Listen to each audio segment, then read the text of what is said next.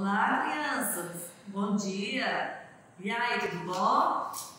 Tenho certeza que estão todos bem, é isso? Então, a tia vai fazer agora a correção de ciências. Vocês fizeram as páginas que a tia deixou ontem na live, que nós, a gente deu a aula de ciências.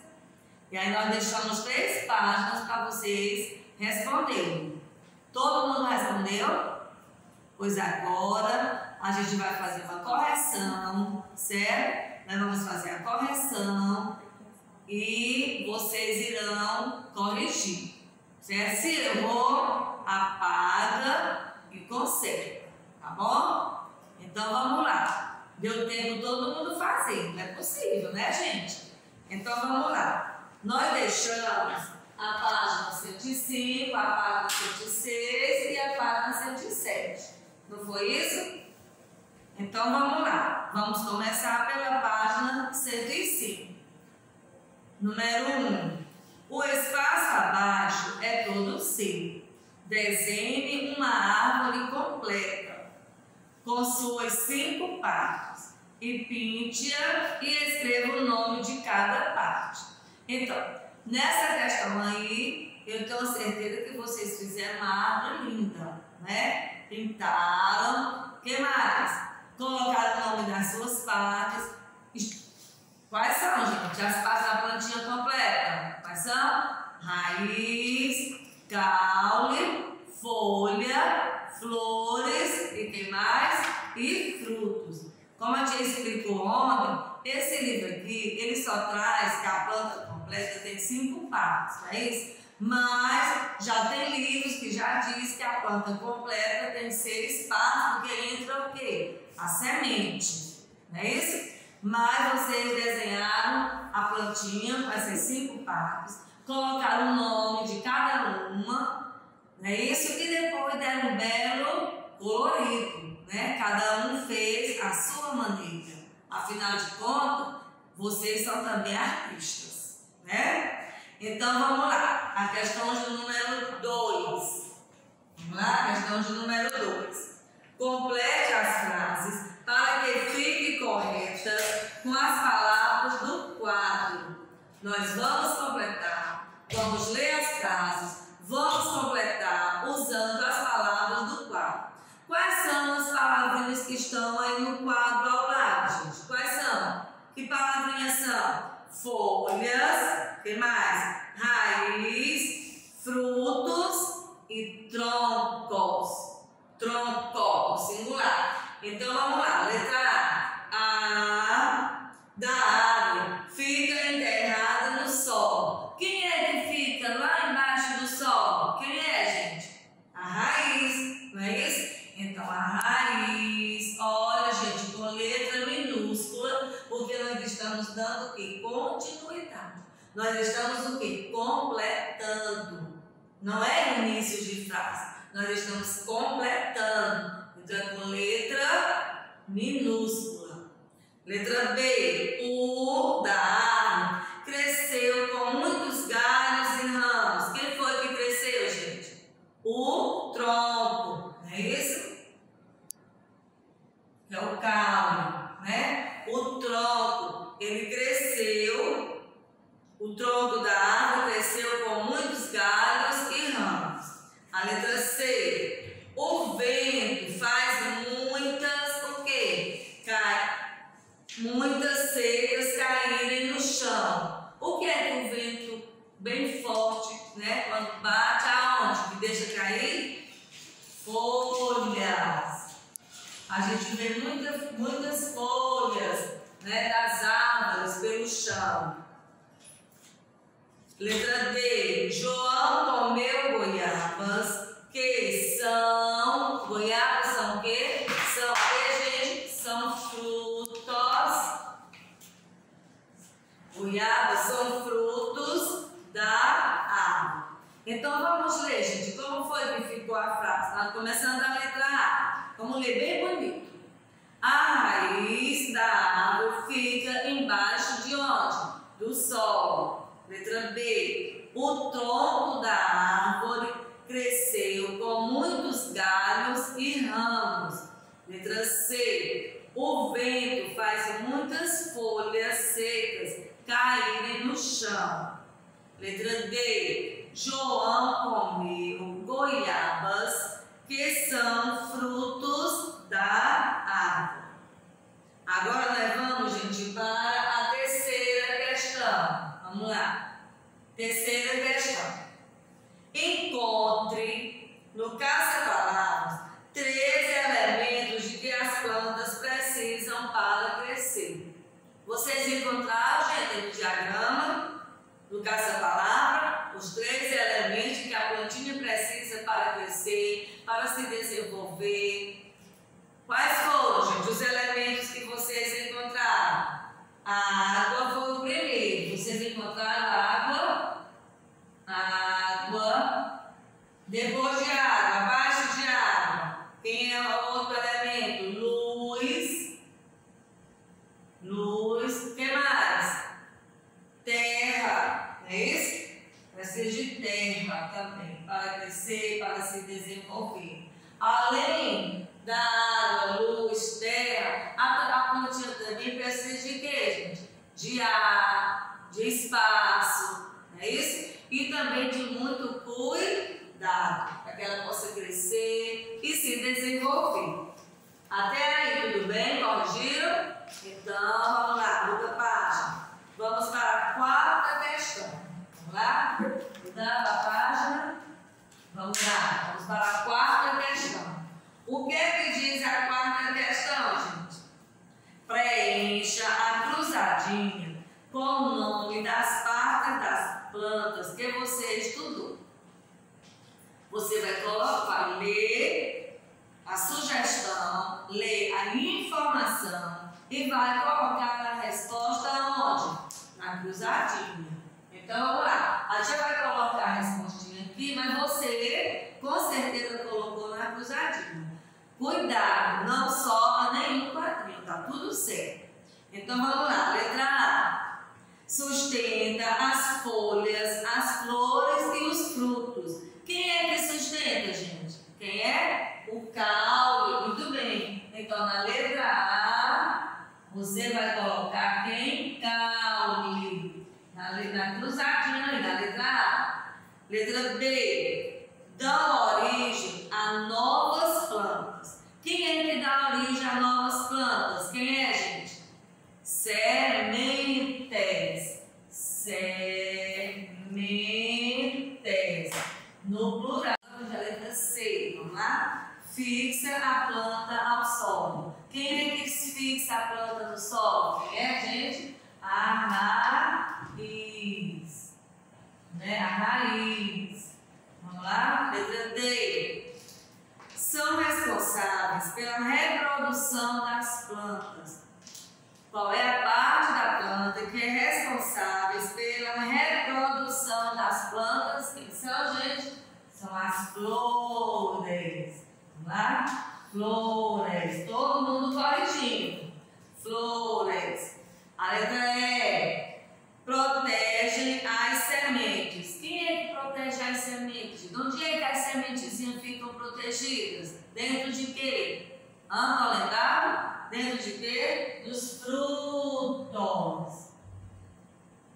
Dos frutos. Vamos lá, letra F.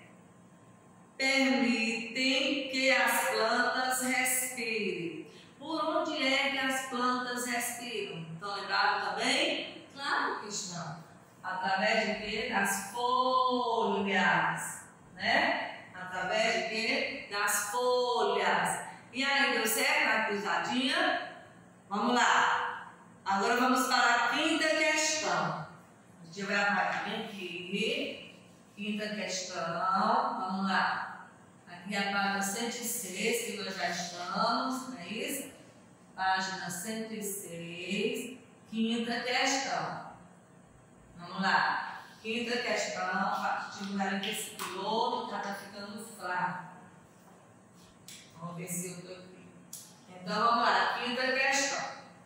Escreva V para as frases verdadeiras e F para as frases o que, gente? Falsas. Então vamos lá. O formato livros, quadrinho. Vamos lá. Quinta questão. Vamos lá. O formato das folhas varia de planta para planta? É verdade ou é falso, gente? Claro que é verdade, porque elas variam. Nós já estudamos isso aí ontem, que as folhas, né, isso, ela varia de planta para planta. Tem folhas grandes, folhas pequenas, o formato delas também são diferentes. Cada plantinha tem o seu formato de folhas, né? Letra B, seria o segundo, segunda frase. As plantas não precisam de luz para sobreviver. As plantas não precisam de luz para sobreviver. Falso, né, gente? Porque nós acabamos de ver que as plantinhas, para sobreviver, elas precisam de quê? De luz e de muito mais coisas, né? De muito mais elementos além da luz. A letra C. Há plantas como os cactos que sobrevivem em locais secos. Verdade, né? Os cactos, eles sobrevivem em locais secos. Na nossa região, na região nordeste, que é uma região seca, a gente vê né, os cactos, porque eles sobrevivem a essas regiões secas. Agora, a raiz não fixa a planta na terra. A raiz não fixa a planta na terra. É o que, gente? Falso. Porque nós acabamos de corrigir que a raiz é quem fixa a planta no solo, na terra. Se você retira a raiz, se você toca a raiz, a plantinha o quê? Cai e morre. Né? Porque a raiz é quem fixa, é quem sustenta né? a plantinha no solo. Agora vamos para a sexta questão. Vamos lá. A sexta questão. Vamos lá, que é a sexta questão. Leia. Durante a aula de ciências, o professor afirmou: todos os vegetais são seres vivos. E aí, gente? Todos os vegetais são seres vivos. Aí vem aqui embaixo, vem as perguntinhas. Essa afirmativa está certa? Tá ou não tá? Claro que sim, né?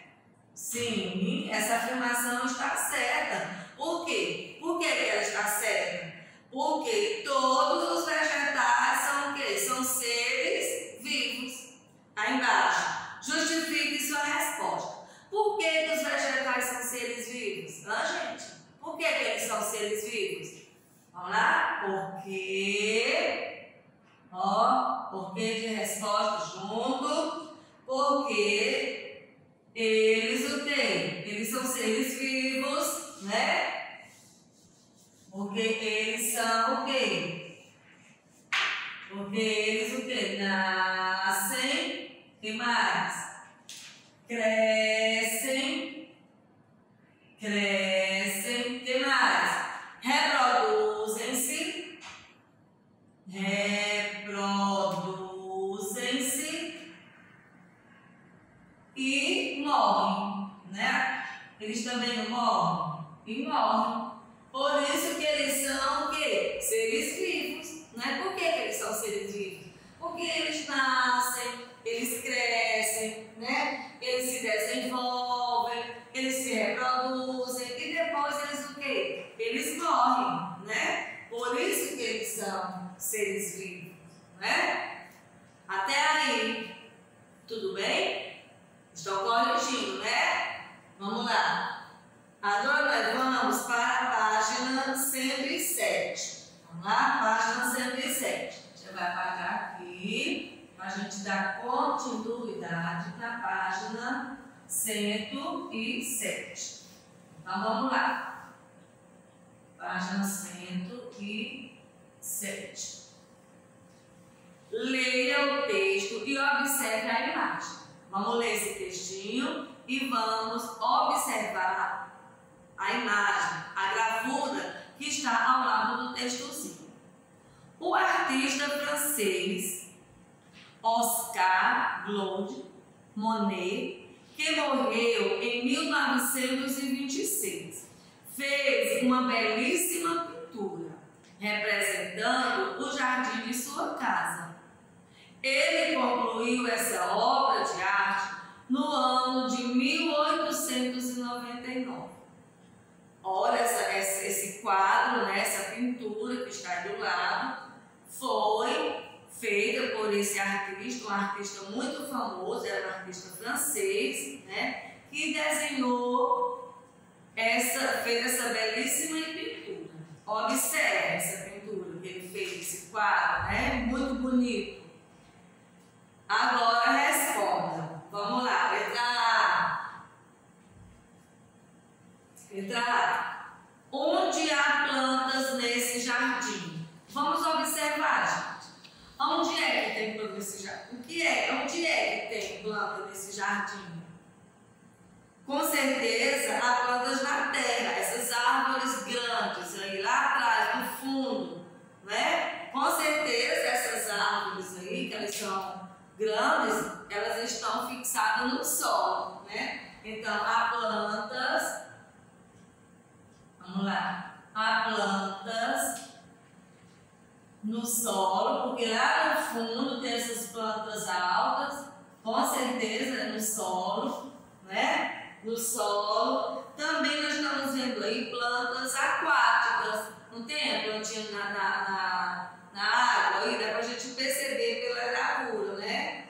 No lago, que pode ser um lago que tem plantas aquáticas, né? Tem uma ponte, né? Tem uma ponte, né? Embaixo é um lago com água, né? no lago, no lago, e que mais? E no tronco,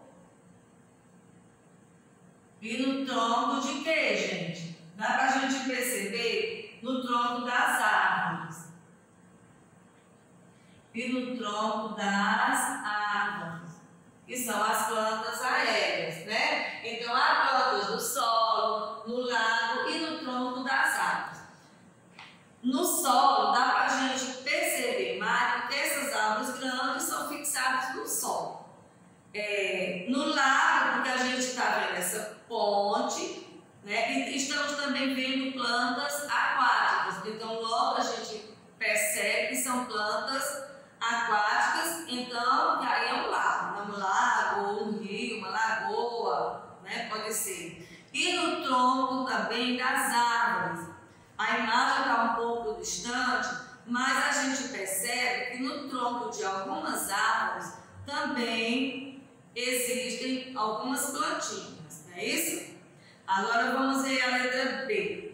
Represente, através de desenho e pintura, o jardim de Oscar né, Claude Monet. Você vai reproduzir. O que é reproduzir? Você vai fazer é, uma pintura pelo menos parecida. Você vai olhar né, e vai tentar fazer essa mesma pintura, mas a sua maneira, tá bom? Então você faz a pintura, pinta bonitinho, tá bom? Porque aí nesse caso, quem é o artista vai ser você. Você que vai reproduzir, vai fazer e vai pintar, tá bom? Então, gente, nós, com essa correção, nós é, fechamos o primeiro conteúdo né, de ciência, que foi sobre os vegetais, sobre as plantinhas, a função de, de cada parte da planta, né? E na próxima semana a gente continua com o próximo conteúdo de ciências, tá bom? Corrijam, gente, não deixem nada sem corrigir, tá bom? Beijo no coração de